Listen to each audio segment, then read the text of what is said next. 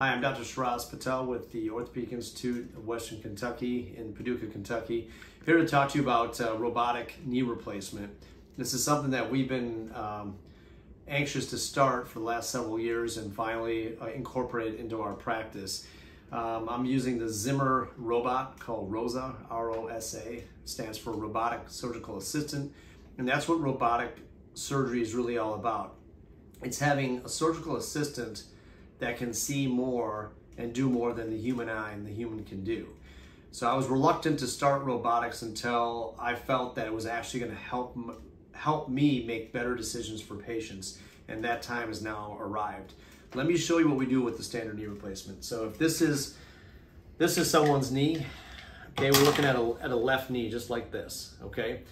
And typically in a knee replacement, we make an incision in the front and sweep the kneecap to the side. So let's just ignore the kneecap for now. So now you're left with the top bone, the femur, and the bottom bone, the tibia. And what we generally do is shave the, the femur and cap it like we cap a tooth. We shave the bottom bone, the tibia, put in a tray with a plastic liner, and that's your new knee. The way we put this in without a robot is we're drilling into the canal of the bone and using jigs that are based off the canal and based off of what we think looks good, quote unquote. And those results have been good, but always as a surgeon, can we be better? And I think now, I know now that it, with a robotic surgical assistant, it is. And here's, here's what we're doing. With the robot, with when before we make the same incision, and I'm putting in it's it's uh, two arrays which are almost consume almost like cell phone mini cell phone towers. We it's a tracking device. So I put two trackers here on the femur and two trackers here on the tibia. Then before I start the surgery, I'm, I'm moving the hip and the knee through 14 points.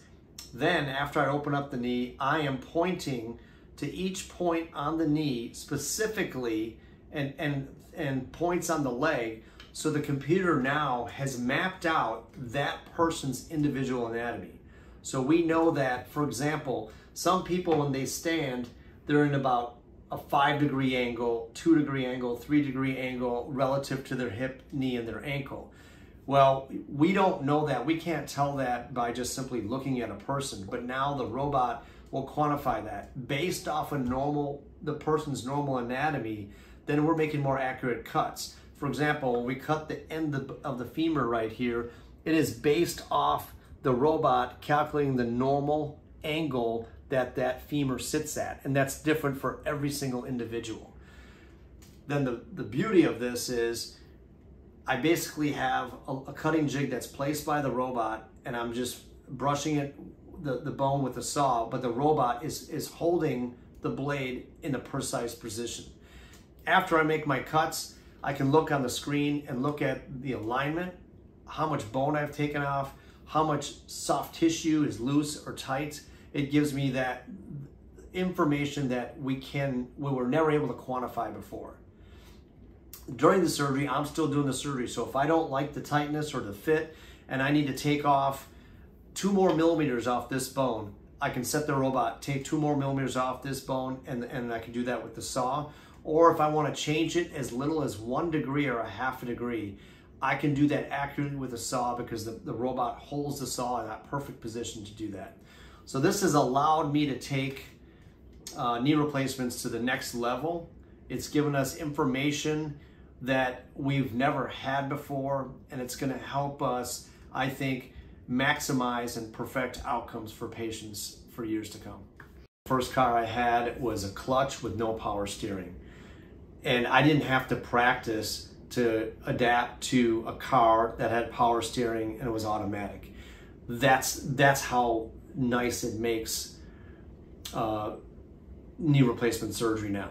Now, I will also tell you that it does not do the surgery for you. If there's surgeons that aren't high volume knee replacement surgeons, this is not the this is not something for them because it's it the robot will not do the surgery for you. It is giving us as surgeons information that we never had before, and we as surgeons have to use that information, quantify it, and, and make the best decisions for the patients. So the ultimate decisions on what I do are still based on what I feel and what I think a perfect knee looks like.